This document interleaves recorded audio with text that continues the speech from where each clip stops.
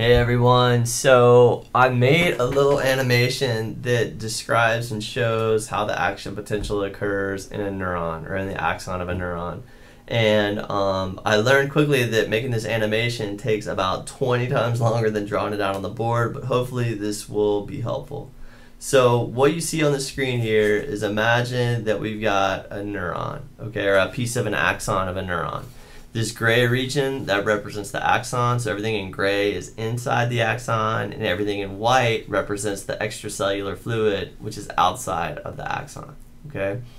So imagine a situation where inside the axon there's a high density of potassium ions. And potassium is here shown in blue and it has a positive charge. So you've got a bunch of potassium in blue on the inside of the axon and then you've got a bunch of sodium that has a high density on the outside of the axon. So a bunch of potassium on the inside, not much potassium on the outside, the exact opposite for sodium a bunch of sodium on the outside and just a little bit of sodium on the inside. And the crazy thing is, is that the cell wants to move more potassium from outside to in and more sodium from inside to out because that's exactly opposite of what diffusion would dictate for these ions. So diffusion, again, is just the process in which an ion spreads out from high concentration to low concentration. This happens passively. That would predict that sodium would want to enter the cell. The, the axon wants to do the exact opposite. It wants to move more sodium from inside to out and more potassium from outside to in. That's going to take energy if the cell is going to accomplish this because it's against their concentration gradients. To accomplish this, the cell has a sodium potassium pump. This is a protein which consumes ATP, and when it does this, it's going to move sodium out and potassium in. Okay, so the cell has this pump which is moving more sodium out and more potassium in. Now it's worth talking about the charge or the voltage that exists inside this axon. Here I'm going to do a chart and this just shows the voltage that exists inside the axon over time. Now right now let's consider that the voltage is pretty much neutral, right around zero, or this charge is right around zero. We've got positive things on the inside, positive things on the outside. There's also some negatively charged ions like chlorine that aren't shown, but everything's pretty much balanced. But there's a problem here.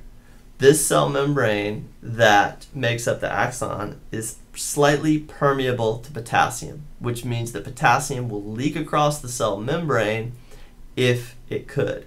And in this case, it can, right? So because the cell membrane is slightly permeable to potassium, potassium is going to diffuse outside of the axon, and that's exactly what it does.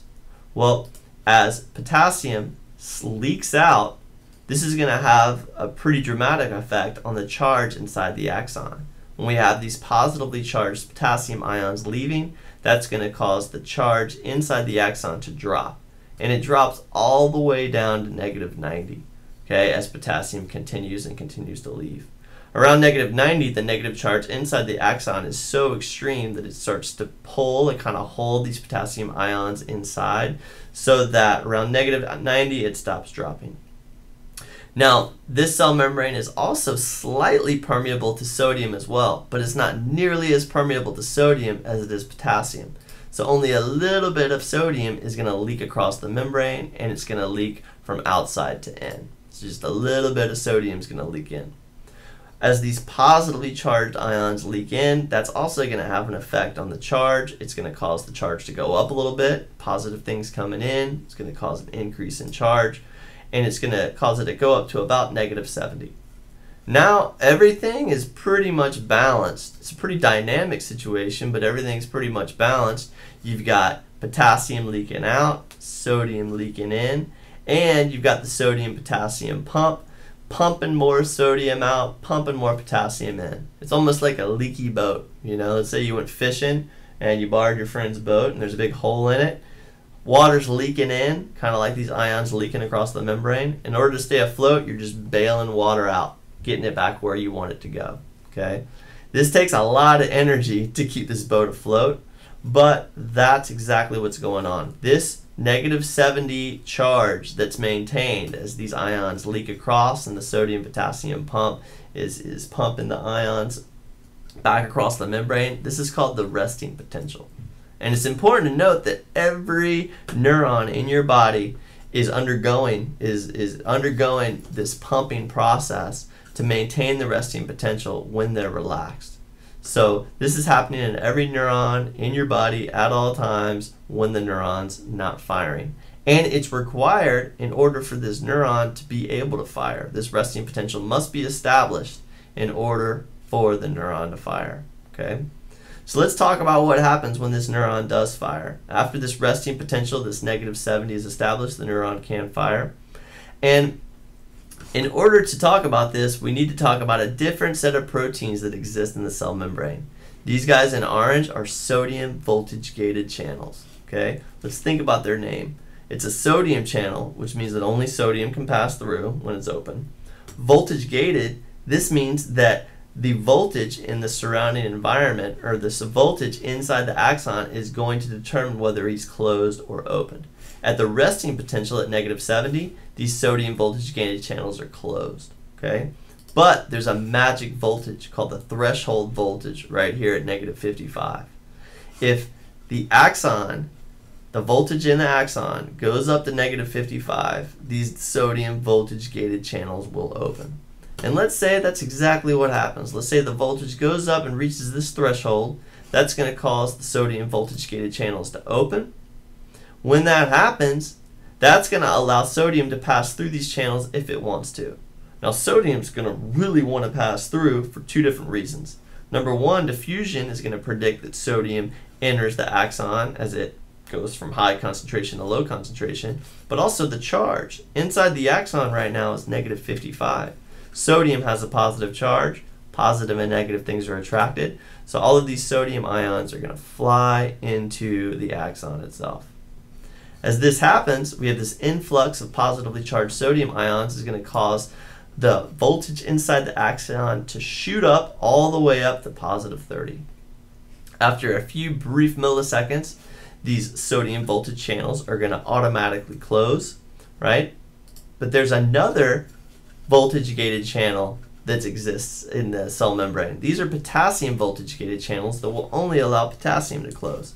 So right after a couple of milliseconds when this voltage reaches positive 30, the sodium channels close and at the same time the potassium voltage gated channels open. These potassium channels responded to the same threshold voltage, they just opened with a little bit of a delay and ha they happen to open right when the potassium channels close or right when the sodium channels close. So these potassium channels are now open. Potassium can move through if they want to, and potassium is definitely going to want to move through. It's going to want to leave the cell as it goes from the potassium goes from high concentration to low concentration, and we have this uh, uh electrical gradient, which is further going to drive the movement of potassium. You have a positive charge inside the axon right now of positive 30. Potassium also has a positive charge, which is going to repel those ions outside of the cell. Okay. As this happens, the charge inside the axon is now going to drop all the way down to negative 70. At the same time, these potassium channels are going to close. Some of these potassium channels are going to be slow to move, slow to close, so potassium is going to continue to leak out, which is going to cause hyperpolarization right here. But eventually, all these potassium channels will fully close, now we have the sodium potassium pumps, which have been there all along. They're going to they're going to start pumping the sodium back out of the cell, the potassium back in, getting everybody where they need to go in the first place, and that's going to reestablish the resting potential. Okay? This curve where we have a depolarization as the sodium channels open, a repolarization as the potassium channels open, and a hyperpolarization as the, the potassium channels are slow to close. This is called the action potential. Now, this only exists in one region of the axon, but this action potential will travel down the length of the axon because voltage spreads out. Let's kind of go back to our original situation. Let's say that an action potential only occurs on the left-hand side of the axon.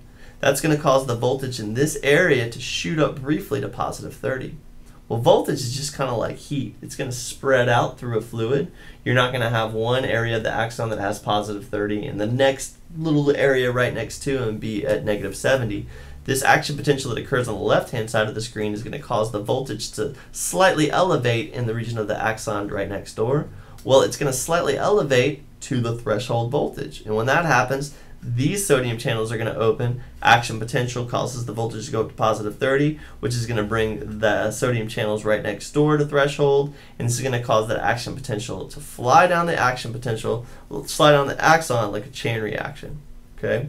And in a nutshell, that's really kind of how the action potential works couple more things about the action potential. Remember that it's always the same size for a given neuron and it only always travels at the same speed. The only way that a neuron can encode the strength of a signal is by the, through the frequency of action potentials. By firing in rapid succession, a high frequency of action potentials is a way that a neuron can um, tell the cell the postsynaptic cell that it is a stronger uh, stimulus. All right, so hopefully this helps. You know, um, I know the animation took me forever to complete. It's a lot easier to draw it out, but hopefully it helps you understand um, this concept. So thank you.